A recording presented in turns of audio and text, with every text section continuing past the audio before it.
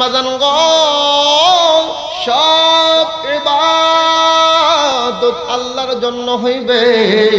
মাহফিল শুনতে আসছি, ভক্তর জন্য নয়, ভক্তর জন্য নয়, একমাত্র কার জন্য শুনতে আসছি। বাজান গো, আমার দুইটা হাত, আমার যে পা, আমার যে জবান সব কিছু আল্লাহ তালা দিলেন। কিন্তু এমনও মানুষ সমাজের মধ্যে দেখা যায় সব কিছু ঠিক আছে, চোখ কান সব ঠিক আছে, বডিটাও ঠিক আছে, কিন্তু অনেক সময় কথা বলতে পারে না, এমন মানুষ দেখা যায় কিনা? আল্লাহ ইচ্ছা করলে সব শ্রেণির মানুষদেরকে এক সময় এক শ্রেণি একভাবে তৈরি করতে পারতো। পার্থক্য কেন করলেন? পার্থক্য কেন করলেন? আল্লাহ বুঝা দিলেন, ওই বেচারাকে যা আমি বোবা বানাইছি, কথা বলার শক্তি দিই নাই, এইটা আমার কারিশমা। এইটা আমি আল্লাহর ক্ষমতা, আমি আল্লাহর ক্ষমতা। দুনিয়াতে ভেদাভেদ তৈরি করার কারণ একজনকে গরিব বানাইছে আর একজনকে কোটিপতি বানাইছে, একজনকে বড় লোক বানাইছে আর একজনকে ভেমওয়ালা বানাইছে। এইটা আল্লাহর ক্ষমতা, চিৎকার করে বলা যাবে না কার ক্ষমতা। ও বাজান আল্লাহর ক্ষমতা আল্লাহর ক্ষমতা। গরিবকে দেখে আমি আপনি যদি অবহেলা করি, এইটা ভুল হবে, কেন ভুল হবে, কেন ভুল হইবে? ভ্যানওয়ালা যদি দুনিয়াতে না থাকতো, আপনাকে হেঁটে হেঁটে ওই বগুড়া শহরে যাওয়া লাগতো। কথা বলেন না কেন? বাদান গো, সুইফারকে দেখে আমি আপনি ঘৃণা করি। সুইফার যদি আল্লাহ তাআলা দুনিয়াতে না পাঠাইতো, ওই আপনার পায়খানা আপনাকে পরিষ্কার করা লাগতো, চিৎকার করে বলেন, ঠিক না বেঠি? বাদান গো, সব ক্ষমতা আমার মাওলার। এই মাওলাকে যদি না চিনি, এই মাওলার যদি হুকুম আকাম না মানি, এই মাওলার কুদরতের ক্ষমতা সম্পর্কে যদি না জানি, ও বাজান, যেই কথাটা কিছুক্ষণ পূর্বে আপনারা শুনলেন, যত বড়ই করোনা ভাইরাস হোক না কেন, যত বড়ই ইবোলা ভাইরাস হোক না কেন, যত বড়ই ব্লাড ফ্লু আপনার রোগ হোক না কেন, যত বড়ই ক্যান্সার রোগ হোক না কেন, বাজান, আপনাকে বুঝতে হইবে বুঝতে হইবে, সব কিছুর মালিক আল্লাহ। কারণ আল্লাহ তাআলা ঘোষণা করেছেন, ওমা আসাবাকুম মুসিবাতিন ফাবিমা কাসাবাত আইদিকুম আইদিকুম। বাজান গো, যত মুসিবত দুনিয়াতে দেখি, এই মুসিবত আল্লাহ তাআলা দেয় নাই। মুসিবতগুলো আমি আপনি নিজের হাত দিয়ে টেনে নিয়েছি। কারণ খাবার একটা আদব আছে কি নাই? ঘুমানোর একটা আদব আছে, চলাফেরার একটা আদব আছে। খাবার কি খাবার খাবেন? সেই খাবারের তারতম্য আছে। ইচ্ছা করলে সেই খাবার খাইতে পারবেন না। খাবারটা কি খাবেন? এইটা খাবেন না সেইটা খাবেন? এই জিনিসগুলো বোঝানোর জন্য আল্লাহ দুনিয়াতে কোরআন পাঠায়া দিলেন, পয়গাম্বারের হাদিস পাঠায়া দিলেন। আপনি মন চাই দেখি গরু, ছাগলের মতো খাবার খাবেন। চীন জাতির মতো সব বিচ্ছু সব খাবেন। তাহলে আপনাকে বুঝতে হইবে বুঝতে হইবে। নবীর তরিকা অনুযায়ী যদি তুমি আপনি না তম- নবীর তরিকা অনুযায়ী যদি আমি আপনি না চলি, আল্লাহর কথা অনুযায়ী যদি আমি আপনি না চলি, তাহলে বুঝতে হইবে বুঝতে হইবে। ওই করোনা ভাইরাস আমাকে আপনাকেও সার দিবে না। কষ্ট হচ্ছে? চলবে। চলবে না ভারে না ভারে। আমিও আসি পারে টেনশন করেন না। আজকে ফাইনাল খেলা। কালকে রাতে মাহফিল করছি দেড়টা পর্যন্ত। নিয়ত করে আসছি, আজকে এখানে দুইটার নিচে সারাসারি নাই। হ্যাঁ? আমার আপনাদের সাথে আমারই জোর কমা বেশি। সম্মানিত সুদী যেই কথাটা বলতেছিলাম বলতেছিলাম এই যে হাত পা গুলো নিয়ে আপনি আমি আপনি যে বড়াইয়ের মধ্যে আছি কিসের বৈধ আর কিসের অবৈধ বিশেষ করে যুবকদেরকে বলছি। এই যে একটা নখ পাইছেন এই নখের নাম কি? বৃদ্ধা আঙ্গুল। যেই নখ দিয়ে মানুষকে সম্বোধন করলে লাঠি ছাড়া আর কিছু পাওয়া যায় না। হ্যাঁ যুবকরা কথা বলো ঠিক না বে ঠিক? এই লোক দিয়ে মনে করেন শুরু করছি রাতের মনে করেন যত রাত গভীর হবে, তত খালি বুক খালি বুক এরম ঠেলতেছি। ফেসবুক আছে কি নাই?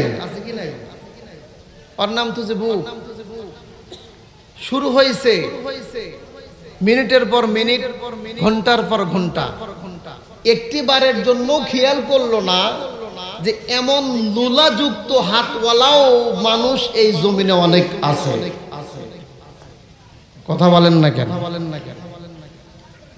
তাহলে আপনাকে যে হাতটা আল্লাহ তালা দিয়েছেন, এটা সব কাজে সব জায়গায় ব্যবহার করা যাবে না। সম্মানিত সুধী, আমি আপনি দুনিয়াতে আসার পরে আমার আপনার বাবার পরিচয়, বাবার মান, বাবার অর্থ সম্পদ সম্পর্কে যদি অবগত না থাকি, তাহলে আপনার মতো হতভাগা সন্তান আর দুনিয়াতে নেই। আমরা কোন বাবার সন্তান? এটা আপনাকে, আমাকে খেয়াল করতে হবে।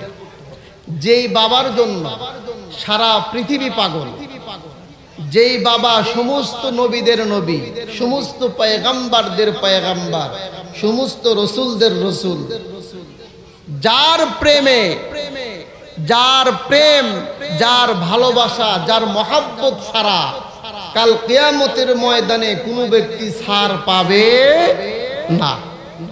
সেই পয়গম্বারের উপরে সংক্ষিপ্ত আকারে, ভক্তি সহকারে, উচ্চ আওয়াজে দরুদ সালাম পাঠ করছি।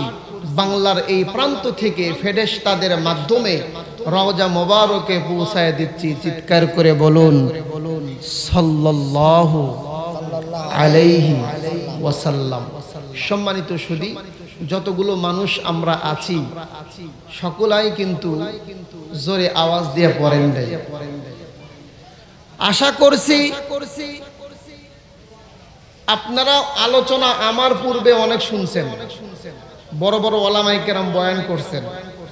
এটাও জেনে রাখেন, এমপি মন্ত্রীর চাইতে ছোট।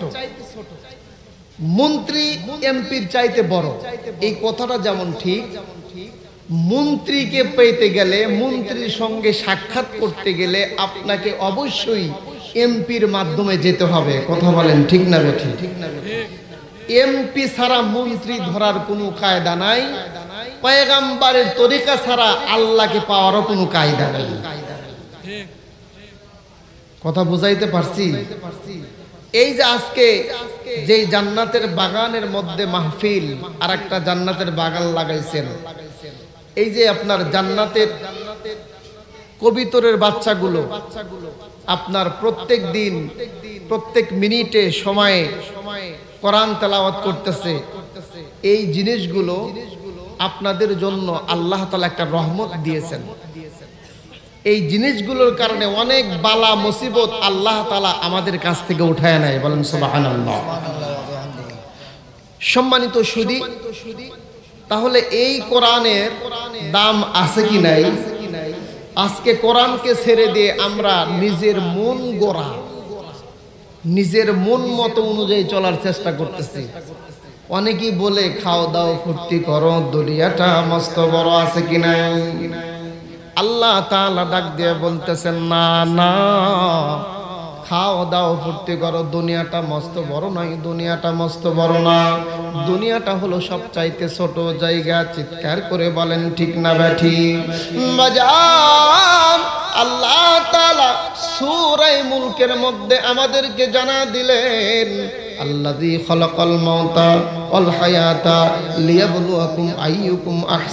মানুষ তোমাদেরকে যে হায়াত দিয়েছি, যে মৌত আমি দিয়েছি, সবগুলো কিন্তু আমি আল্লাহ সৃষ্টি করছি। হায়াতের মালিক আল্লাহ মৌতের মালিক আল্লাহ।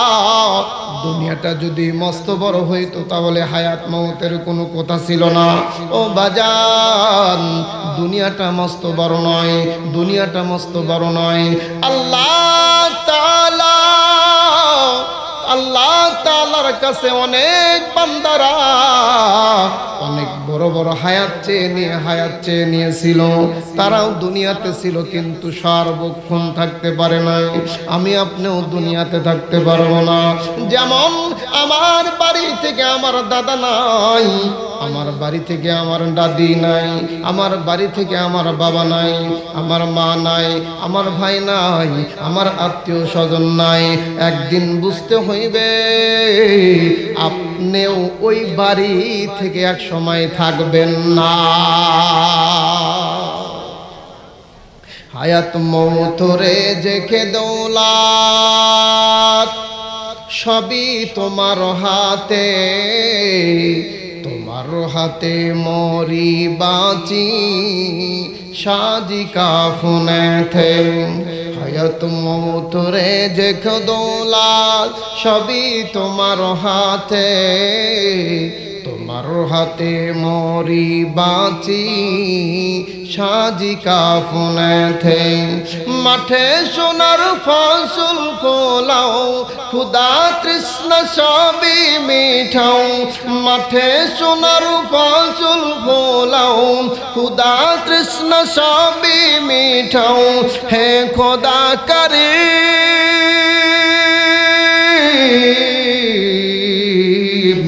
তুমি রহমানুর রহিম, রব্বুল আলামিন, তুমি রহমানুর রহিম। মেজান গো, এই দুনিয়াতে আমি আপনি আসি এমনি এমনি আসি নাই। আল্লাহ তালা কত সুন্দর করে, কত সুন্দর পদ্ধতির মাধ্যমে নিয়ে আসলেন। এই জায়গায় আসার পরে আল্লাহর বিধান ছাড়া চলার কোনো উপায় নাই। আল্লাহ তালা ডাক দিয়া বলতেছেন, দুনিয়ার মানুষ এই দুনিয়াতে গিয়ে তোদের এক নাম্বার শত্রু হইবে। তোদের এক নাম্বার শত্রু, তোদের এক নাম্বার শত্রু হইল মিস্টার ইবলিস। ইবলিস তোদের শত্রু হইবে, তোদেরকে বিভিন্ন গুণার মধ্যে লিপ্ত করবে। আমি আল্লাহ তোদেরকে জানা দি জানা দি। আলম আহাদ ইলাইকুম ইয়া বানি আদম, আল্লাহ তাবুদু শাইতান ইন্নাহু লাকুম আদুব্বুম মুবিন। মাদান গো শয়তান আমাদের প্রকাশ্য শত্রু।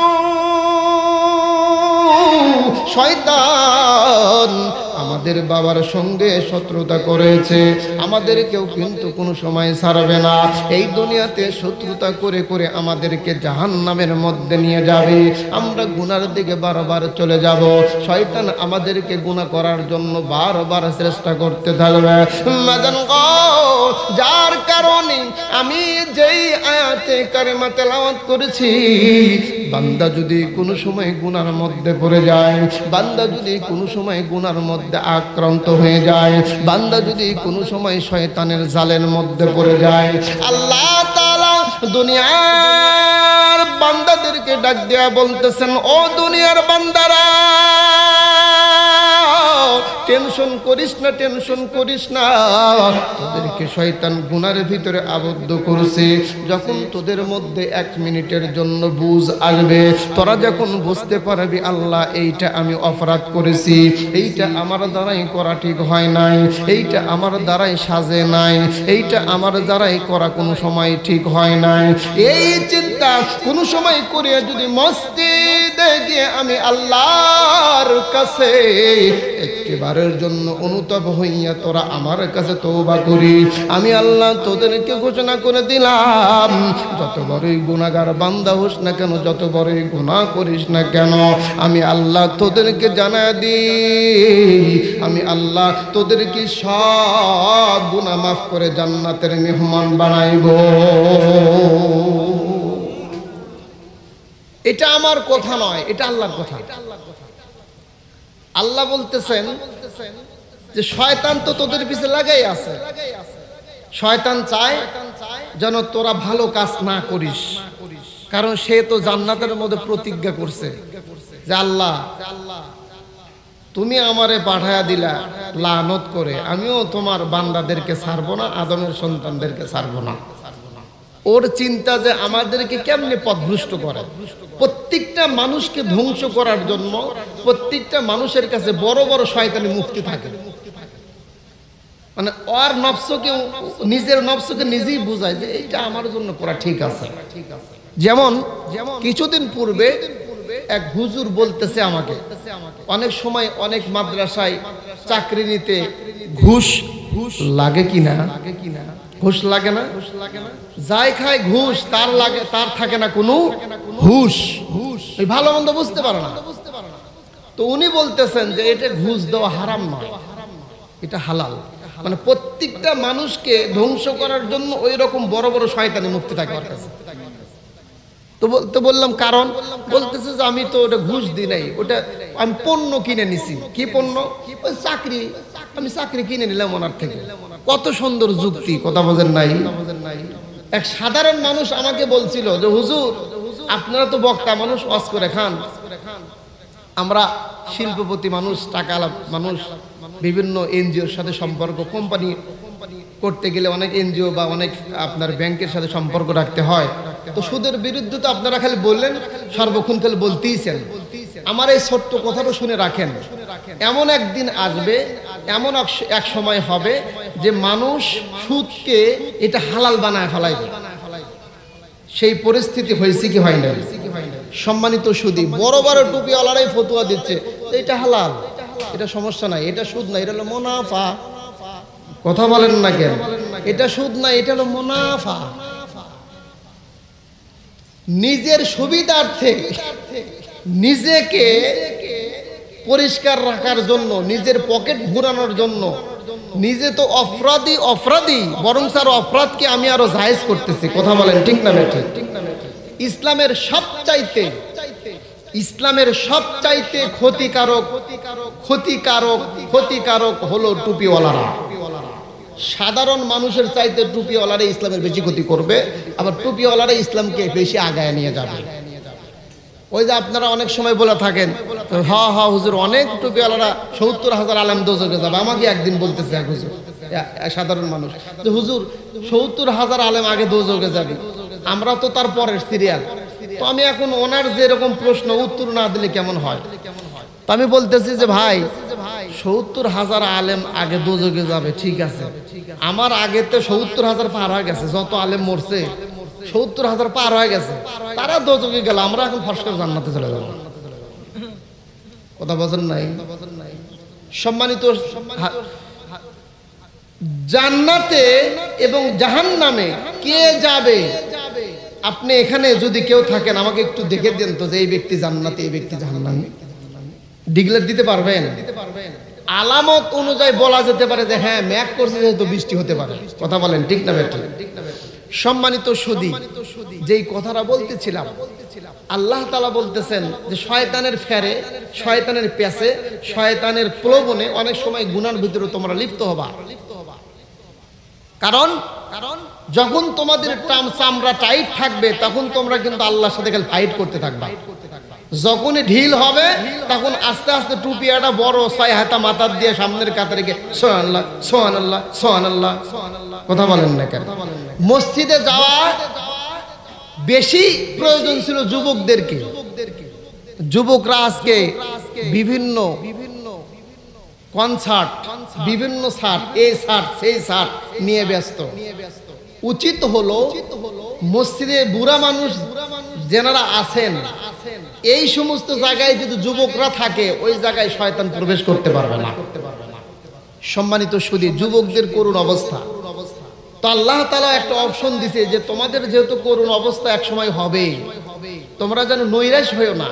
আমি আল্লাহ তোমাদের কাছে একটা অপশন দিয়ে দিলাম, সেটা হলো কি, যত গুনাই করো না কেন, একবার যদি আমার কাছে আমার রহমতের দরিয়ার পারে আসো, আমি আল্লাহ তোমাদেরকে সব মাফ করে দিব। কোথায় কথা আসে? মুসা আলাইহি সালামের জামানায় মুসা পয়গাম্বার আল্লাহ তালাকে জিজ্ঞাসা করতেছে, আল্লাহ, আমার এই জামানা সবচাইতে নিকৃষ্ট বান্দাকে সেই ব্যক্তিকে আমি একটু দেখতে চাই। কথা বুঝতে পারছেন? কথা বুঝতে পারছেন আল্লাহ তাআলা মুসা পয়গাম্বারকে ডাক দিয়া বললেন, কেন তুমি নিকৃষ্ট বান্দাকে দেখতে চাও? মুচা পয়গাম্বার আলাইহিস সালাতু সালাম আল্লাহকে বলতেছেন, আল্লাহ, কোন ব্যক্তি সবচাইতে নিকৃষ্ট? আমি একটু আমি একটু নিজে চোখে দেখতে চাই। মাওলাই যখন আল্লাহ তার কথাটা গ্রহণ করল আল্লাহ তাআলা ডাক দিয়া বলল, তাহলে ফজর নামাজ পড়ে তুমি এক চান্সে চার মাথায় দাঁড়াইবা, ওই চমুক চার মাথায় দাঁড়ায় থাকবা। সকালবেলা দেখবা ওখান দিয়ে তোমার সামনে দিয়ে একজন বান্দা হেঁটে হেঁটে চলে যাবে। ওই বেচারাই সবচাইতে নিকৃষ্ট বান্দা, সবচাইতে নিকৃষ্ট বান্দা। মাদান কে উৎকৃষ্ট? কে নিকৃষ্ট? এইটা কে বলবে? আল্লাহ ভালো জানেন। কারণ কি, আমি আপনি যে বেচারাকে নিকৃষ্ট মনে করলাম, ওর ভিতরে এমন কিছু আমল থাকতে পারে, যার কারণে আল্লাহ তাআলার কাছে সে উৎকৃষ্ট হইতে পারে। কথা বলেন ঠিক না ঠিক পয়গম্বর ফজর নামাজ কমপ্লিট করে বোঝা গেল, নামাজ শুধু আমাদের কাছে আসে নাই। নামাজ সমস্ত নবীদের জামানায় ছিল, কথা বলেন না ঠিক না ঠিক মুসা পয়গম্বর, নামাজ কমপ্লিট করে চৌরাস্তায় দাঁড়ায় আছে। কারণ সবচাইতে নিকৃষ্ট বান্দা এই রাস্তা দিয়ে যাবে। আমি ওই বান্দাকে একটু দেখতে চাই, ওই বান্দাকে একটু দেখতে চাই। আল্লাহর পয়গম্বর থাকে। ওই ওই বেচারা তো আসে না। কোন বেচারা কোন বেচারা? আল্লাহ তালা মুসা পয়গাম্বারকে জানা দিয়েছেন, মানুষ তো অনেক মানুষ যাবে, তুমি কেমনে বুঝবা ওই বেচারা নিকৃষ্ট? যে বেচারার মাথার উপরে একটা বাচ্চা থাকবে, খেয়াল করে দেখবা তার মাথার উপরে একটা বাচ্চা ছেলে নিয়ে তিনি রওনা দিবে। ও বাজার অনেক সময় নিজের সন্তানকে মাথার উপর উঠাই কি উঠাই না। অনেক সময় নাতিপুতিদেরকে আপনি মাথার উপর উঠায় লই। মাদান আল্লাহর বান্দা, যখন মাথার উপর একটা বাচ্চা ছেলে লইয়া ওই রাস্তা দিয়ে রওনা দিবে, তাহলে তখন তুমি বুঝে নিবা, এই বেচারাই তোমার জামানায় সবচাইতে নিকৃষ্ট। মাদান মুসা পয়গম্বর, যখন দেখতে পাইল দেখতে পাইল। আল্লাহর বান্দা ওই বাচ্চার সঙ্গে গল্প করতে করতে হাসতে হাসতে রাস্তা দিয়ে যাইতেছিলেন। মুসা তিনি মনে মনে বলতেছিল, তিনি মনে মনে মনে মনে বলতেছিল, ওই হাই রে আল্লাহর বান্দা, তুই তো হাসি তামাশার মধ্যে ব্যস্ত, কিন্তু তুই তো জানিস না আল্লাহর পার্লামেন্টে সব চাইতে তুই নিকৃষ্ট। আল্লাহর বান্দা হাসতে হাসতে চলে যায়। মুসা পয়গম্বর তুর পার গিয়ে আল্লাহর কাছে সেজদায় পরে আল্লাহরে ডাক দিয়ে বলে, আল্লাহ আর একটা কথা তোমারে বলব।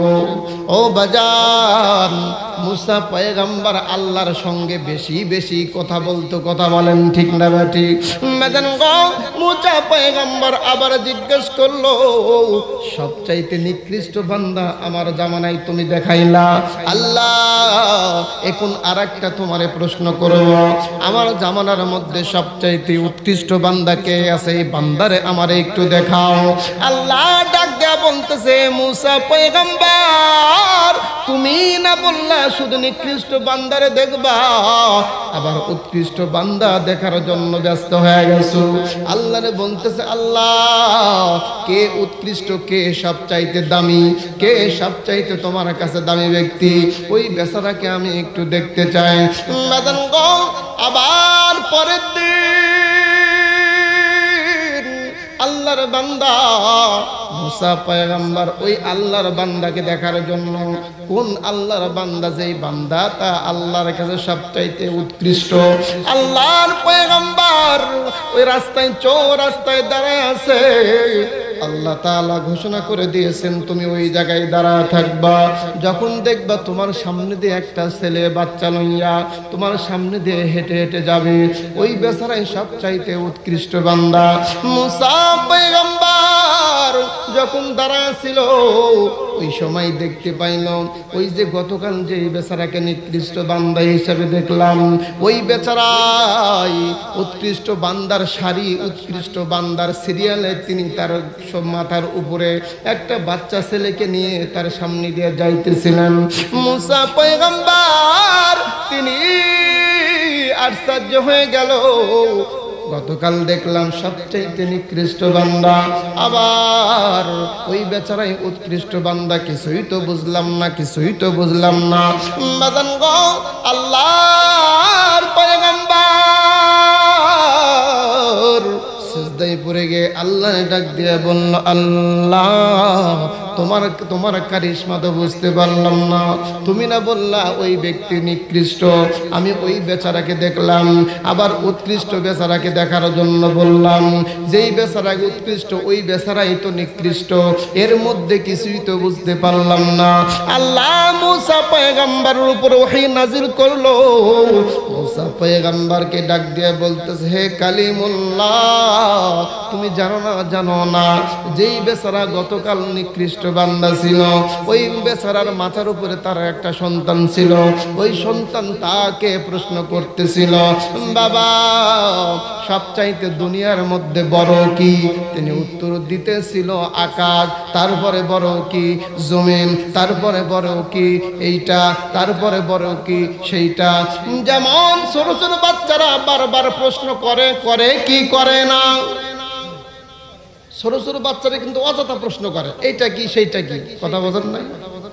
করতে করতে করতে করতে বাবাকে ডাক দেয়া বলতেছে, বাবা,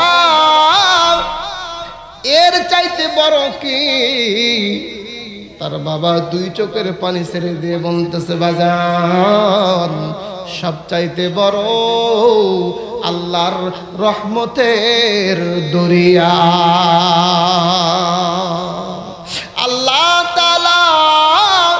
এই কথা যখন শুনলো, যখন বলছে, সব চাইতে বড় রহমতের দরিয়া, আল্লাহ তালা সঙ্গে সঙ্গে ওই বেচারাকে মাফ করে দিল। ও বাজান, আমরা যত বড়ই গুণাগার হই না কেন, যতই গুণার মধ্যে লিপ্ত হই না কেন, আল্লাহ তালা একটা অপশন দিয়ে দিলেন। হে নবী আপনার উম্মতদেরকে জানা দেন জানা দেন قل يا عبادي الذين أسرفوا على أنفسهم لا تقنطوا من رحمة الله قل হে নবী يا عبادي হে নবী আমি, হে নবী আপনি জানায় দেন, শোনায়া দেন, বলিয়া দেন। ইয়া আমার বান্দাদেরকে জানায় দেন। আল্লাযী যারা, আশরাফু যারা, বে যারা কি করল, বাড়াবাড়ি করল। আল্লাহ আমাদেরকে জানা দিল, আলা আনফুসিহিম। যেই সমস্ত বান্দা বান্দিরা নিজের নফসের উপর বাড়াবাড়ি করল, যেই সমস্ত বান্দা বান্দিরা গুনার দিকে লিপ্ত নিল, গুনার দিকে ধাবিত হইল, গুনাহ করতে করতে পাহাড় পরিমাণ গুনাহ করে ফেলল। যত বড়ই গুণাগার হন না কেন আজকের মাহফিল থেকে যদি আল্লাহর রহমতের দরিয়ার দিকে তাকাইয়া দুই ফোঁটা চোখের পানে যদি ফালাইতে পারেন আশা করা যায়। আল্লাহ তালা জান্নাতের মেহমান বানাইয়া মাহফিল থেকে বিদায় করে নিতে পারে।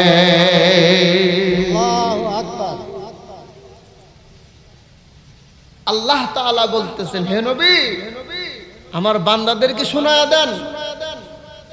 তারা যদি কোনো সময় গুনার ভিতরে লিপ্ত হয়ে যায়, নফসের উপর জুলুম করে বসে, কারণ কারণ গুনার বয়সটার নামই হলো যুবক বয়স। কথা বলেন ঠিক না বেঠি? ঠিক না বেঠি এটা মারাত্মক একটা বয়স। আজকের মাহফিলে মা বোনটা আছে নাকি? হ্যাঁ? ও, আলহামদুলিল্লাহ। তো বলবেন তো বলবেন তো? সম্মানিত সুদী, গুণা তৈরি হয়, বর্তমান জামানার গুণা তৈরি হচ্ছে হলো নারীর মাধ্যমে। নারী যদি সচেতন হয়, যতটুক সমাজে গুণা আছে, একশোর মধ্যে নব্বই পার্সেন্ট গুণা এই আমাদের এই বাংলাদেশ থেকে বিদায় নিবে। কথা বলেন, ঠিক না বেঠে? নারীদের দ্বারাই বেশি গুণা সংগঠিত হয়। আজকে আজকে আমি আপনাদেরকে, বিশেষ করে মা বোনদেরকে একটা কথা বলব। মেসকাত শরীফের মধ্যে একটা হাদিস পড়ছিলাম। আল্লাহর হাবিব বলেন, যেই মা, যেই বোন, যেই মেয়ে, যেই বান্দি, চারটি কাজ করবে। আল্লাহর পয়গাম্বারের কৌল আল্লাহর পয়গাম্বারের জোবান, আল্লাহ তালা ঘোষণা দিয়েছেন পয়গাম্বারের জবানের মাধ্যমে। যেই মা এই জমিনে চারটি কাজ করবে, আল্লাহ তালা সেই মাকে আটটি জান্নাত দান করবে বলেন সুবহানাল্লাহ। কাজ করতে হবে কয়টি? চারটি। আল্লাহ তাআলা জান্নাত দিবে আটটি। আল্লাহ তাআলা বলতেছেন, যে মা এক নম্বর কাজ হলো, যে মা নামাজ আদায় করবে। শুধু নামাজ আদায় করলেই চলবে না, নামাজটা সময় মতো আদায় করতে হবে। মা বোনরা তো নামাজ, নামাজে কিন্তু চরম কাঁচা।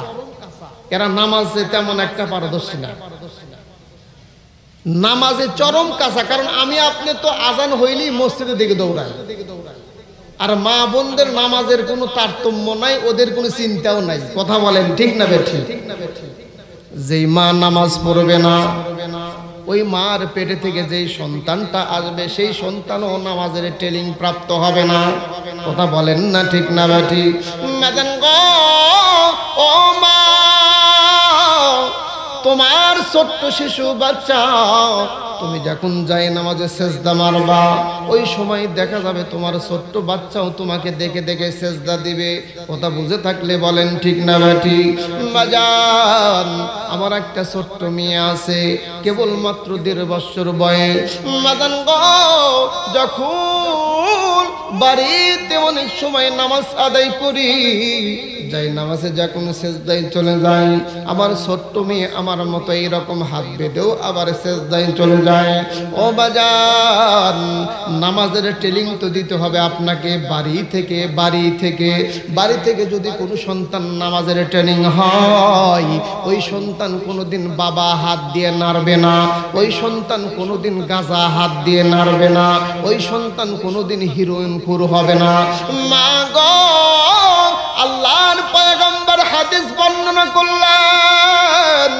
আল্লাহর পয়গম্বর বলেন কিছু কিছু মানুষ কালকে আমতের ময়দানে উঠবে।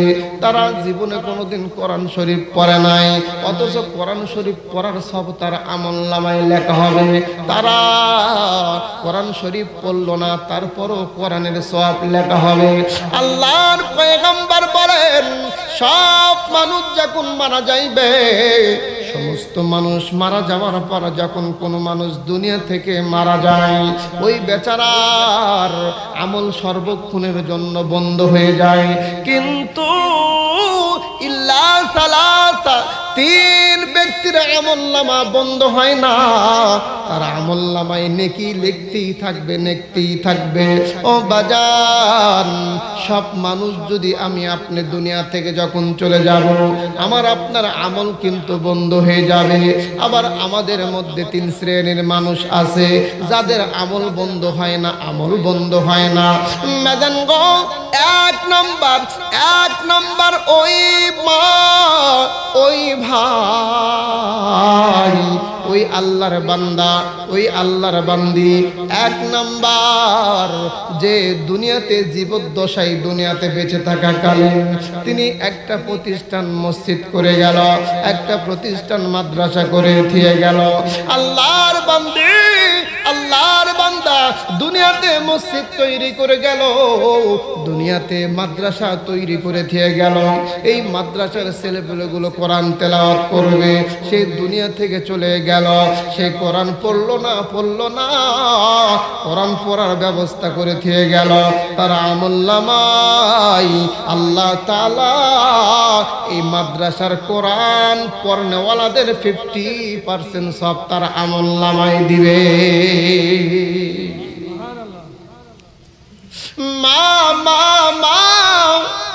তোমার সন্তান সর্বপ্রথম তোমাকে শিক্ষা দিতে হবে নামাজ।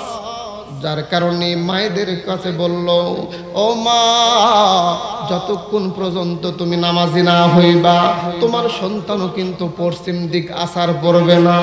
মাদান গো, মায়েরা যদি আজকে সমাজে ঠিক হয়ে যায়, অনেক গুণা সমাজ থেকে চলে যাবে, অনেক গুণা সমাজ থেকে চলে যাবে। ও বাজান, আল্লাহ তাআলা ঘোষণা করে দিলেন, দুনিয়ার মধ্যে যদি তোমরা গুনার মধ্যে চলে যাও, আমার কাছে প্রার্থনা করো এবং আমার রহমতের থেকে নৈরাশ হইও না। যত বড়ই গুণাগার হও না কেন, আমি আল্লাহ তোমাদের সমস্ত গুনাহ খাতা মাফ করে দিব। কথা বলতে গেলে কথা মনে পড়ে যায়। আল্লাহর পয়গাম্বারের যে আল্লাহর পয়গাম্বারের দরবারে। আল্লাহর পয়গাম্বারের সাহাবি দুই চোখের পানি ঝরঝর করে বলেন, পয়গাম্বার ডাক দিয়ে বলতেছেন, হে সাহাবি, কেন এত কাঁদো, কেন এত কাঁদো? তোমার তো কান্নার কোনো কারণ দেখি না। সাহাবি পয়গাম্বারকে ডাক দেয়া বলতেছে, ইয়া রাসূলুল্লাহ। ইয়া হাবিবাল্লাহ, এই জন্যই কাঁদি। আল্লাহ তাআলা আমার গুনাহ খাতা মনে হয় মাফ করে নাই। পয়গাম্বার ডাক দিয়া বলে, তোমার কি জানা নাই? আল্লাহ তাআলা ঘোষণা করে দিয়েছেন, ইয়া আইয়ুহাল্লাযীনা আমানু তুবু ইলাল্লাহি তাওবাতান নাসুহা। মানুষ গুনাহ থেকে যখন তৌবা করবে, আল্লাহ তাআলা সেই বেচারার সমস্ত গুনাহ খাতা আল্লাহ মাফ করে দেবেন। এই কথা পয়গম্বর যখন বলল, সাহাবী, ডাক দিয়ে বলতেছি, ইয়া রাসূলুল্লাহ। সব গুনাহ আল্লাহ মাফ করবে। আমার মনে হয়, আমার মন বলতেছে, একটা গুণা মনে হয় আল্লাহ মাফ করবে না। ডাক দিয়ে বলতেছি, এমন কি গুণা কি গুণা তোমার সেই গুণা মাফ করবে না, এমন কি গুণা সাহাবী পয়গাম্বর আলাইহিস সালাতু ওয়াস সালামকে বললেন আমি যখন কাফের ছিলাম, আমি যখন বেদিন ছিলাম, আমার বিবিকে ডাক দিয়ে বললাম, বিবি, চার বছরের সফরের জন্য বিদেশ যাব। ও বিবি, তোমার পেটে তো বাচ্চা আছে। এই বাচ্চারা যখন দুনিয়াতে ভূমিষ্ঠ হইবে, এই বাচ্চারা যদি কোনো নারী ভূমিষ্ঠ হয়, এই বাচ্চারা যদি মহিলা সন্তান হয়, সঙ্গে সঙ্গে দুনিয়া থেকে তাকে উৎখাত করে দিবা, দুনিয়া থেকে মেরে ফেলবা। স্বামী বিবিকে নির্দেশ দিয়ে যাই। ইয়া রাসূলুল্লাহ, আমি যখন আমার বিবিকে এই অর্ডার দিলাম, আমার বিবিকে বললাম, বিবি, খবরদার এই সন্তান যেন দুনিয়াতে না বসে। আল্লাহর পয়গাম্বার মন খুলে মনোযোগ দিয়ে কথাগুলো শুনতেছিলেন। ওই সাহাবী বারবার চোখের পানি সারে আর হাউ মাউ করে কাঁদে। পয়গম্বরকে বলেন আমি যখন চার বছর পর সফর থেকে বাড়িতে ফিরলাম, আমার বিবিকে ডাক দিয়ে বললাম, বিবি, তোমার যে সন্তানের কথা, তোমার পেটের মধ্যে যে সন্তানটা ছিল, এই সন্তানটার খবর কি, সন্তানের খবর কি? বাবা গো, ওই জামানায় তো আপনার আল্ট্রাসাউন্ডের কোনো সিস্টেম ছিল না। ওই জামানায় তো মোবাইলের কোনো সিস্টেম ছিল না। যে সঙ্গে সঙ্গে খবর দিয়ে দিবে। ও বাজার আল্লাহর বান্দা, বাড়িতে প্রবেশ করার পরে যখন বিবিকে বলছে, বিবি ডাক দিয়ে বলতেছে, তুমি যেহেতু বাড়িতে আসছো, ক্লান্ত শরীর নিয়ে বাড়িতে ঢুকছো, একটু রেস্ট নাও, খাওয়া দাওয়া করো, তারপরে তোমারে বলব। বাজার মা বোনদেরকে লক্ষ্য করতে হইবে। সব কথা সব সময় স্বামীকে বলা চলে। কথা বলেন না কেন? সব সময় সব কথা স্বামীকে বলা ঠিক হয় না। স্বামীর মন মানুষতা দেখে তারপরে বলতে হয়, কারণ ছেলে মানুষের মেজাজ কিন্তু সব সময় হট হয়ে থাকে। কথা ঠিক না বা ঠিক? অনেক মা বাড়িতে স্বামী ঢোকার পরে যত পেশাল থাকুক না কেন, আগে শরীর সাথে কি হয়েছে সেটা আগে কুটুর কুটুর করে। কথা বলেন না আপনারা। মিথ্যা কথা বলতেছি। দেখবেন সব পেশাল ভুলে গেছে। বাড়িতে ঢোকা মাত্রই। তোমার মা হেদে করল। তার মানে শরিক দেখলেই গাও জ্বলে, এমন ওই বেটার বউ জানে না যে ওই বেটার বউকে একদিন তাকেও কিন্তু একদিন সরি হতে হবে। কথা বলেন, ঠিক না ঠিক ঠিক না ঠিক শাশুড়ি হতে হবে। আমাদের এলাকায় বলে সরি শাউর। সম্মানিত সুদি ওনার এই চিন্তা নাই। কারণ ওই যে আগেও আগে বলছি, চামড়া আছে টাইট আল্লাহর সাথে করতেছে ফাইট আর চিন্তাই নাই। স্বামী যখন বাজার থেকে সুন্দর সুন্দর মাছ কিনা বাড়িতে নিয়ে আসছে, বিবির চিন্তা নাই চিন্তা নাই। বিবির একটা মাত্র টেনশন, একটাই চিন্তা, কোন পেটিটা আমার মাকে খাওয়াবো? কথা বলেন না কেন? বাজান আমি আমার ভাইদেরকে উদ্দেশ্য করে বলব, যে ভাই মা বাবার দিকে খেয়াল করো না। মা বাবার দিকে লক্ষ্য করল না। তুমি যত বড়ই নামাজি হও না কেন? তুমি যত বড়ই হাজি হও না কেন? আল্লাহর কাছে আসামি ছাড়া আর তুমি কিছুই না। বাংলাদেশে নামাজি মুসল্লি পাওয়া খুব সহজ, কিন্তু মার খেদমত ওয়ালা সন্তান পাওয়া কঠিন। কথা বলেন না কেন? নামাজি ব্যক্তি বহুত। দেখেন মা বাবার খেদমত করনেওয়ালা সন্তান খুবই কম। নামাজ পড়তে পড়তে আপনার মাথা করা ফেলাইছে। বিশাল গাড়ি কিনছে। গাড়ির সাথে লিখে দিছে, মা বাবার দোয়া। অথচ জীবনে কোনোদিন ওই মা একটা চকলেটও কিনে দেয়। কথা কয় না মিশা কথা বললাম। আমার শাশুড়ি শাশুড়ি না আমার শাশুড়ি, আমার আত্মীয়ের মধ্যেই আমার সমুদ্রে সবাই ঢাকাতে থাকে ভার্সিটি চাকরি করে। তো একদিন আমাকে বলতেছে, বাবা, তোমার শ্বশুরের শ্বশুরিতে বলে শ্বশুর না, তোমার শ্বশুরের বোন, অর্থাৎ আমার মানে আমার শাশুড়ির হচ্ছে হলো, কি হচ্ছে? ননন ননন না কি, ননদ। তো ওনাকে একটু দেখতে যাব, তোমার ফুবু হচ্ছে। ফুবু শাশুড়ি আমাকে একটু ধরে দেন, অনেক ভাষা অনেক জায়গায় কিন্তু চলে না। কথা বুঝে আসছে? মাইন্ড করেন না, কষ্ট পাচ্ছেন মুরব্বীরা। বলে মাশাল্লাহ খুব ভালো। কারণ একটা মানুষের উপর ষাটটা জিনিস ওয়াজিব। হুজুর আছে, জিজ্ঞাসা করেন, ষাটটা জিনিস ওয়াজিব। তার মধ্যে এইটাও একটা যে কোনো অসুস্থ ব্যক্তিকে দেখতে যাওয়া ওয়াজিব। ঠিক আছে না, হুজুর? তাকে খোঁজ নেওয়াটাও ওয়াজিব। আমরা তো মনে করেন যাই, বিস্তার প্রচার ঢাকতে যাই না। কথা বলেন না কেন?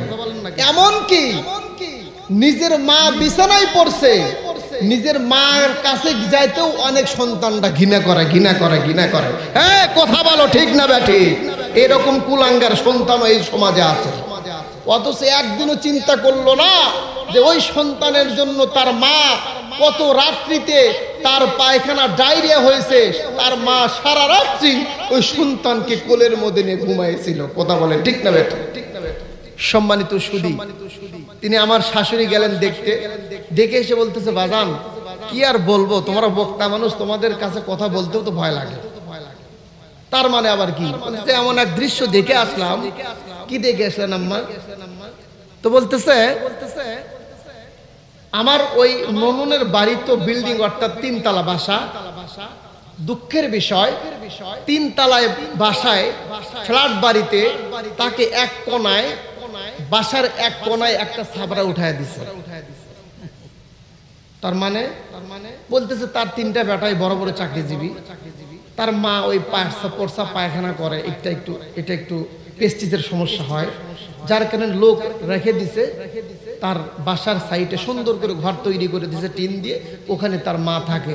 কিন্তু ওই জায়গায় যখন আমি পুষলাম, যখন গেলাম আমার ওই ননন এতই কান্দা কান্দিল যে তার দুই চোখের পানি মনে হয় নদীর স্রোতের মতো বেয়ে বেয়ে যাচ্ছে। জবান খুলে বলেন, এমন পরিবার সমাজে আছে কিনা পাঁচতলা বাসা করছে বগুড়াতে। এটা তো আপনাদের বগুড়া শহর। বগুড়া শহরে পাঁচতলা বাসা করছে। প্রত্যেকটা মানুষের জায়গা হয় ওখানে থাকার। এমনকি কাজের মেয়ে তিন চারটা থাকে, কাজের লোক চার পাঁচটা থাকে, অথচ ছোট্ট একটা মা আর ওই বাসাতে থাকার জায়গা হয় না। বহুত ফ্যামিলি তার মাকে সুস্থ রাখার জন্য বৃদ্ধাশ্রমে দিয়ে আসে। কথা বলেন, ঠিক না বে ঠিক? ও সন্তানের দল, তুমি যত বড়ই নামাজ পড়ো না কেন, যত বড়ই হাজি হও না কেন, যত বড়ই আবেদ হও না কেন, যত বড়ই মৌলবী হও না কেন, মাকে যতক্ষণ পর্যন্ত সন্তুষ্ট করতে না পারবা, তোমার এবাদতের কোনো মূল্য নাই, কোনো মূল্য নাই। কথা বলেন, ঠিক না বেটি সম্মানিত সুদী এই যে হাদিস বললেন, সম্মানিত সুদী মার পায়ের নিচে সন্তানের সন্তানের জান্নাত। তো কথা বলতেছিলাম, বিবিরা তো তার স্বামীকে খালি শাশুড়ির আর শ্বশুরের কীভাবে গিবত করা যায় এটা কিন্তু পাকা। আপনাদের এলাকার মা বোনরা খুব ভালো আছে। আমাদের ওই অঞ্চলে দেখবেন যে এইগুলা ফুট ফুট ফুট ফুট করে বলতেই ছিল। বাজান আমার, যেই কথার আপনাদেরকে বলতেছিলাম, আল্লাহ তাআলা ঘোষণা করে দিলেন, কুল ইয়া ইবাদিয়াল্লাযীনা আসরাফু আলা আনফুসিহিম লা তাকনাতু মির রাহমাতিল্লাহ। আল্লাহর বান্দা দরবারে দুই চোখের পানি ছেড়ে দিয়ে কান্না করে আর বলে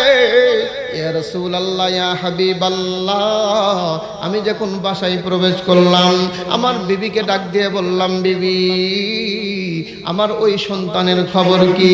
বিবি বলল, তুমি আগে রেস্ট নাও, তুমি আগে বিশ্রাম করো, তুমি আগে আরাম করো, তারপরে তোমার সঙ্গে কথা হবে। মাদান গো বিবি চিন্তা করল, এত বড় জার্নিং করে আসছে। অনেক দিন বাড়ি অনেক দিন পর বাড়িতে আসছে। সব কথা বিবির, সব কথা স্বামীর কানে দেওয়া যাবে না। কারণ অনেক সময় স্বামী অ্যাক্সিডেন্ট করতে পারে রাগের মাথায়, কথা বুঝে থাকলে বলেন, ঠিক না ঠিক না। আল্লাহর বান্দে।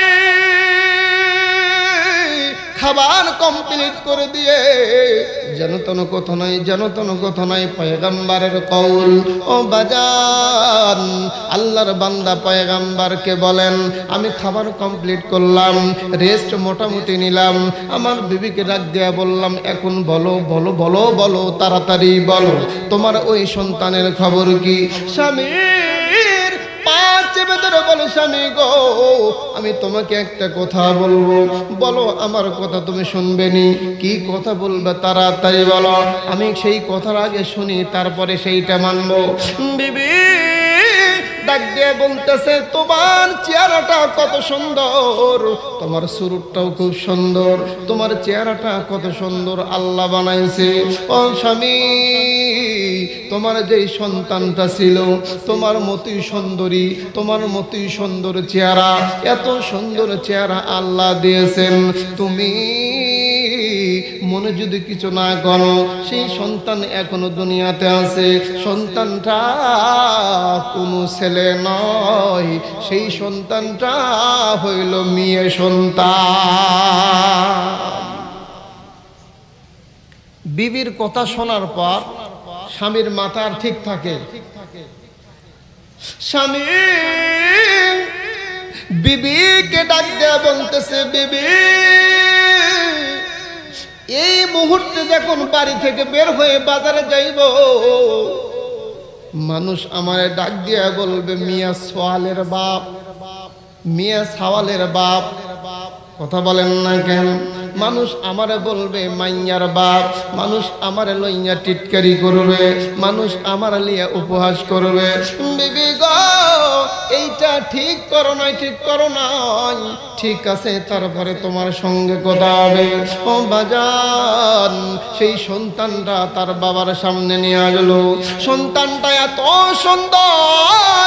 মেয়ে সন্তানটা সবচাইতে বাবা মা বেশি আদর করে বলেন, ঠিক না বা ঠিক? ও বাজান, মেয়ে সন্তানের জন্য অনেক সময় আমরা মন খারাপ করি। আপনারা এক মিনিটের জন্য চিন্তা করবেন সন্তান, ছেলের মহাব্বত আর মাইয়ার মহাব্বত। মাইয়ার মহাব্বত আর ছেলে সন্তানের মহাব্বত। দুই মহাব্বত কোন সময় এক হয়। না না, কি বলব? কোথায় কোথায় আছে আমার মা দুনিয়া থেকে বিদায় নিয়ে চলে গেল। মা বলার মতো শক্তি আমার জবানে আর নাই। কিন্তু আল্লাহ তাআলা একটা মেয়ে সন্তান দিয়েছে। বাবা গো, বাড়িতে তিনটা, চারটার দিকে যখন বাসায় অনেক সময় ফজরের আজান হয়ে যায়, বাসার মধ্যে প্রবেশ করা মাত্রই আমার ওই ছোট্ট মাইয়া সন্তান মনে হয় আমার জন্য জাগিয়ে আছে।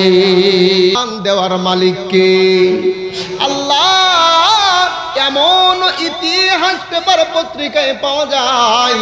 প্রথমটা হয়েছে মেয়ে, দ্বিতীয়টা হয়েছে কন্যা, তৃতীয়টা হয়েছে মাইয়া। কথা বোঝেন নাই? বিবি ডাক দিয়ে বলতেছে বিবি এই যে চতুর্থ নাম্বার একটা রিস্ক দিলাম। এইটা যদি মাইয়া সন্তান হয়, তাহলে তোর ভাত আমার বাড়িতে হবে না। ও বাজান গো, সন্তান দর মালিক যদি মানুষের হাতে থাকতো, তাহলে মানুষ নিজের মতো করে সন্তান বানাইত।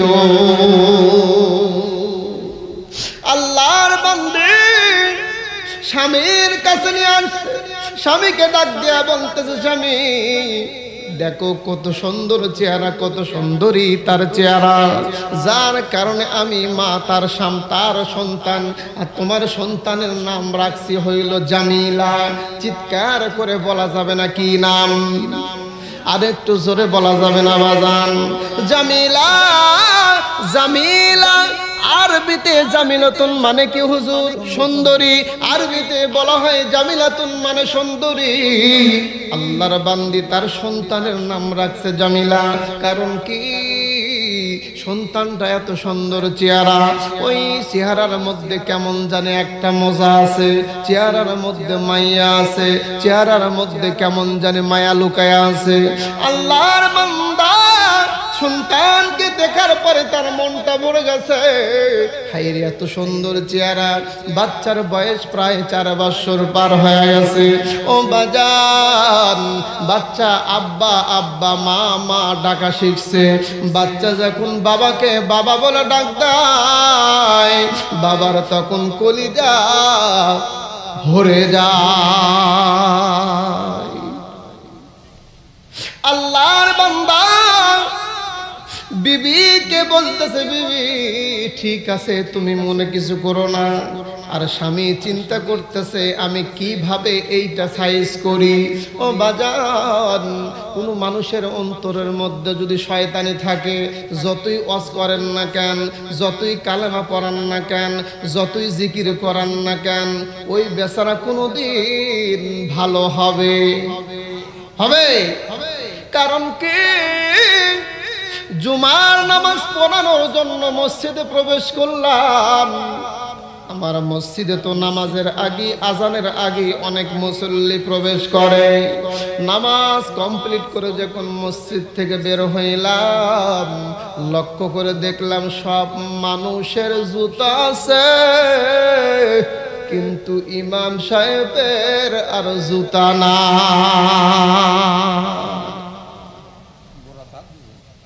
হয় কি না? হয় কি না জুতা কি ওই আপনার ঢাকার থেকে এসে আপনাদের মসজিদে চুরি করা? ওই মুসল্লি সাইজা মসজিদে যায় গিয়ে দেখে যে কোন জুতাটা সুন্দর, ওই জায়গায় সুন্দর করে রেখে দেয়। কথা বলেন ঠিক না ঠিক বাজান আমার কথাটা মনোযোগ দিয়ে শুনবেন। মানুষের মধ্যে যদি শয়তান থাকে, তাহলে যতই টুপি মাথায় দিক না কেন, ওর দ্বারাই ভালো কিছু হবে। না না, হজ করে আসছে, জুব্বা পড়ছে ছয় হাতে জুব্বা পড়ছে অন্তরের মধ্যে খাইলি ক্রিমিনালি, অন্তরের মধ্যে খালি হাসাদ, অন্তরের মধ্যে খালি হিংসা। যতই নামাজ আর যতই টুপি পড়ি না কেন, আমার দ্বারাই হিংসা ছাড়া আর কিছু বের হবে না। আল্লাহর বান্দা চিন্তা করতেছে, কীভাবে এইটা সাইজ করা যায়? আল্লাহর বান্দা যখন রাত্রিতে ঘুমাইতে গিয়েছে, স্বামী এবং বিবির মাঝখানে ওই সন্তানটা শুয়ে পড়ছে, ডাক দিয়ে বলতেছে, আব্বা, কতদিন হইল তোমারে দেখি না। একবার আব্বার গালে চুমা খায়, আবার মার গালে চুমা খায়। এইভাবে রাতটি কেটে গেল। স্বামী লজ্জা শরমে বাড়ি থেকে বের হয় না। মানুষ কি বলবে মানুষ কি বলবে যে হয়েছে মেয়ে সলের বাপ? এইটা মানুষকে কেমনে দেখাবো? মাদান গো অনেক সময় মানুষ দেখেন দাড়ি রাখলে নতুন দাড়ি রাখলে বাড়ি থেকে এক সপ্তাহ বাড়ায় না। কথা কন না কে? কি ব্যাপার বন্ধু সব শহরে যাব। না রে একটু সমস্যা কি? তাই একটু দাঁড়িয়ে রাখছে। দাঁড়িয়ে রাখছে ভালো জিনিস। না, ওই গেলি বার কয়, তুই আবার কতদিন হলো মুসল্লি বলে কি না? বলে কি না? আমাদের দাড়ি কাটাটা কাটাটা যেমন খুব রিক্স, আমাদের দাড়ি কাটা যেমন খুব কঠিন, ইচ্ছা করলেও পারব না। অনেকের দাড়ি রাখাটাও তেমন রিক্স, কথা বলেন ঠিক না বেঠে ঠিক না বেঠে কারণ দাড়ি রাখলে অনেক সময় বিবি আবার ঘাটা ধরে বাড়ির দিকে যাবার চায়। কথা কয় না, স্বামী, দাড়ি কার হুকুমে রাখলা? বলে কি না? বলে কি না আল্লাহর বান্দা, আপনার কোম্পানিতে চাকরি করে ঔষধ কোম্পানিতে চাকরি, সুন্দর চেহারা, দাড়ি দেখে মন ভরে গেল। ডাক দিয়ে বললাম, ভাই, এত সুন্দর চেহারা এবং সাথে দাড়ি, মনটা ভরে গেল। ছয় মাস পরে খেয়াল করে দেখলাম, সফান সফা, দাড়ির উপর উই সিজার করছে। আছে কি নাই? কি ব্যাপার ভাই? আপনি সিজার করছেন কে দাড়ির উপর? বলতেছে, কি বলব হুজুর? বিবির সাথে তালাক পর্যন্ত হয়ে যায়। হাই সব মানুষ কারণ বলতেছে তুমি যদি এখন দাঁড়িয়ে রাখো তাহলে আমি এই যে বাপের বাড়ি চললাম। ডাক দিয়া বললাম আপনি এখন কি করলেন? বলতেছে আমি নবীর দিকে লক্ষ্য না করে তাড়াতাড়ি সফান সফা করে দিলাম বউ চলে গেলে কই পামু? এরকম মরদ আছে কি নাই? এরকম পুরুষ নাই? পুরুষ নাই মেসাল মানুষের মধ্যে কান্দে বইয়ের কাছে গিয়া। বাজান গো, যেই মা স্বামীকে নির্যাতনের মধ্যে রাখে, সে মা যত বড়ই নামাজি হোক না কেন, যত বড়ই আবেদা হোক না কেন, যতই পর্দার মধ্যে থাকুক না কেন, স্বামী যদি মার উপর সন্তুষ্ট না হয়, তার কবরে আল্লাহর আজাবের ফেরেস্তা প্রবেশ করবে। কবর কমপ্লিট জানাজা কমপ্লিট এখন সবাই মিলে কিতাবে আসতে সবাই মিলে ওই মাইয়াতকে কবরস্থ করবে। কবরস্থ করতে গেছে খাটনিতে যে আপনার কেমন কি লাগান থাকে ওইটা খুলতে হয়।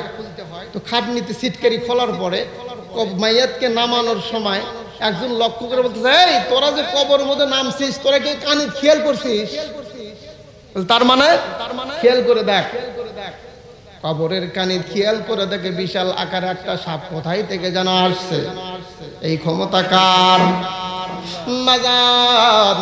যেই তিনজন মানুষ কবরের মধ্যে নামছে, কিসের মাইয়া, তার কিসের মাটি দেওয়া খেয়াল করে দেখো ওই তিনজন আগে রাস্তা ধরছে। এক লাপেতে বিদায়।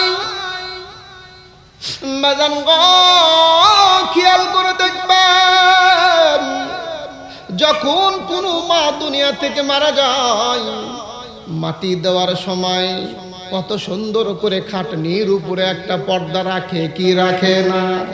ডাক দিয়া যদি বলা যায়, আপনি খাটনির উপর পর্দা দিছেন কেন? বলতে যে, হুজুর, আপনি জানেন না এই তো মহিলা মানুষ। ইনি তো মহিলাতে পর্দা দেব না, কি করব? তো বললাম, ওই উনি কতদিন পর্দার মধ্যে চাকরি করছে?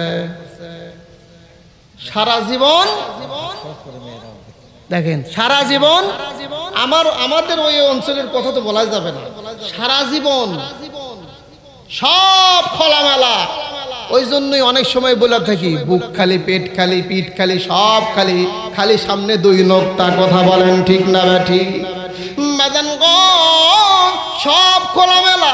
দুনিয়া থেকে যখন চইলা যায়, সামনে একটা কাপড় রাখে। কি কাপড় রাখল?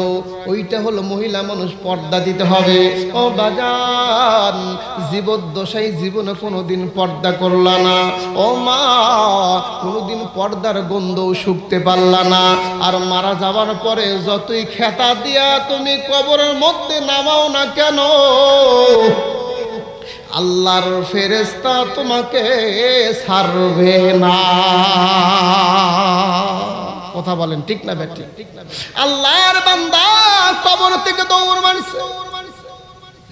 এক মুরব্বী বয়োজ্যেষ্ঠ ডাক দিয়া বলতেছে এই জায়গায় কবরস্থ করা যাবে না, এই জায়গায় কবরে রাখা যাবে না। তাড়াতাড়ি কবর থেকে তোলো, তাড়াতাড়ি কবর থেকে তোলো। তাহলে কি করতে হইবে?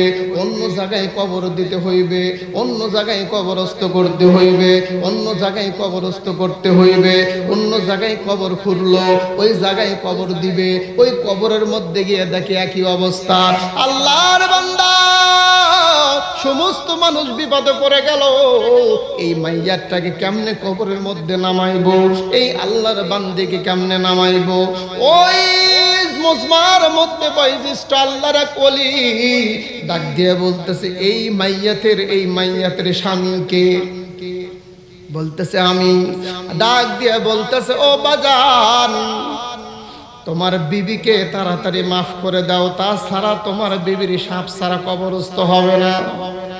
আল্লাহর বান্দা দুই চোখের পানি ছেড়ে দিয়ে বলতেছে, হুজুর, কেমনে বুঝলেন কেমনে বুঝলেন?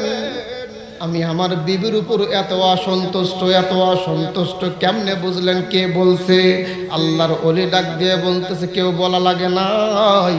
যতক্ষণ পর্যন্ত স্বামী বিবির উপর সন্তুষ্ট না হইবে, ততক্ষণ পর্যন্ত আল্লাহর আজাবের ফেরেস্তা সরবে না। আল্লাহর বান্দা ডাক দিয়ে বলতেছে হুজুর, আমার বিবির উপর আমি কোনো সময় মাফ করব না। বলছে, কেন মাফ করবা না? আমার বিবি সব সময় আমাকে নির্যাতন করত, কথা দিয়ে নির্যাতন করত, গালিগালাজ করত। আমার বিবি আমার কথা মানতো না, নিজের উচ্চাই সব করত। এই জন্য বিবির সঙ্গে সব সময় কেসাল গন্ডগাল হইতো। আমি আমার বিবিকে মান, আমার বিবিকে কি করব না, মাফ করব না? আল্লাহর ডাক দিয়ে বলতেছে, দেখো দেখো কি পরিস্থিতি, দেখো। এই দেখো কি করুন অবস্থা। তুমি যদি তোমার বিবিকে মাফ না করে দাও, তাহলে আমরা চলে গেলাম এই জায়গায় কবরস্থ করা সম্ভব না। আল্লাহর বান্দা আল্লাহকে ডাক দেয়া বলতেছে তাকনা তুমি আল্লাহ তো নৈরাশ হইতে নিষেধ করছে। আমি আল্লাহর কাছে তার পক্ষ থেকে মাফ চাইলাম। আমি মাফ করে দিলাম, আল্লাহর কাছে দরখাস্ত করলাম। সঙ্গে সঙ্গে আল্লাহর বান্দির কবর থেকে সাপ গায়েব হয়ে গেছে। মাজান গ ও মা খবরদার কোনো স্বামীকে কষ্ট দিবে না। নিজের স্বামীকে খবরদার কষ্ট দিবে না। খবরদার কষ্ট দিবে না। স্বামী সন্তুষ্ট না থাকলে তুমি কিন্তু জান্নাত পাইবে না। আল্লাহর বান্দি বলতেছে, দেখো কি পরিস্থিতি। আল্লাহর বান্দা, তিনি প্ল্যান করলেন আগামীকালকে আমার এই সন্তানকে নিয়ে যাবে। বিবি বিবিকে ডাক দিয়ে বলতেছে, বিবি, তাড়াতাড়ি আমার এই জামিলাকে গোসল করিয়া দাও, এই সুন্দর করে গোসল করিয়া দাও। বলছে, কেন? তাড়াতাড়ি গোসল করিয়া দাও, আমি এর দাওয়াত খাওয়াইতে নিয়ে যাব। অমুক শহরে দাওয়াত আছে আমার বন্ধুর বাড়িতে, ওই জায়গায় এর দাওয়াত খাওয়ানোর জন্য নিয়ে যাব। কারণ স্বামী জানে, এই সন্তানকে মারতে গেলে বিবিকে না বলে মারতে হইবে। বিবি জানলে এই সন্তানকে আমার সঙ্গে দিবে না। বিবি, সুন্দর করে গোসল করিয়া দাই। আমার লোকমা ভাত খাওয়ায় দিল এক লোকমা ভাত খাওয়ায় দিল। সন্তানকে সাজগুজ করিয়া দে বাবার হাতে ওঠা দিল। বাজান গো, আল্লাহর বান্দি।